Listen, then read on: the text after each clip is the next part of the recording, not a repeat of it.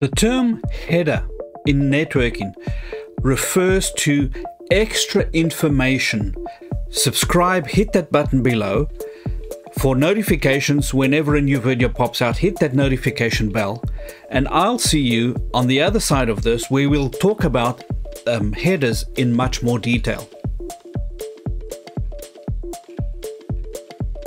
Another term that we often hear about or talk about when we talk about networking is the term headers. No, not not not not the football Cristiano Ronaldo, not that type of a header. That's not what we're talking about. We're talking about headers that need to be attached to a message to help it get to its destination. When you receive a letter from somebody, from your bank, for, from a utility uh, for you to pay a bill, for example, you'll notice that on the envelope that there's a certain amount of information. The letter, the envelope needed to have that header on it for it to be able to find its way to you.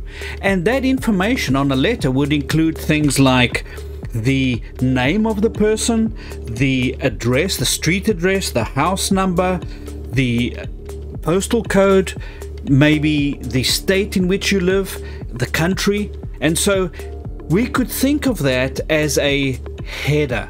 The envelope needs to have the en- the the the header to help it to get to its destination.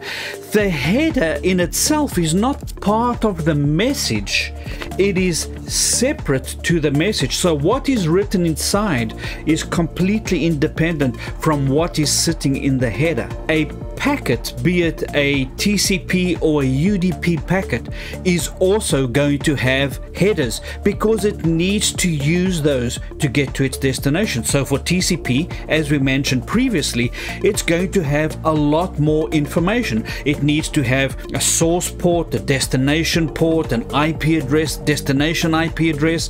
It's going to need to have things like SYN, SYN, acknowledge, FIN, FIN to terminate a connection. So it's going to have to have a lot more data in the header than what a UDP packet, for example. A UDP packet just needs to have a source port, a destination port. It also has a length, it has a checksum. That's all. It's a lot simpler. That's why we say that a UDP has is less resource intensive than what a TCP um, header is, a TCP packet, because TCP needs to have a lot more information to get to that specific recipient that you're going to need to, to make sure that this gets to me, to you, or to anybody else.